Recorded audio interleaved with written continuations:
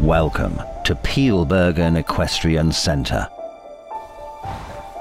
The 8th edition of the Young Riders Academy begins from today's selection. 24 athletes from 15 countries. Which riders will be part of YRA Team 22?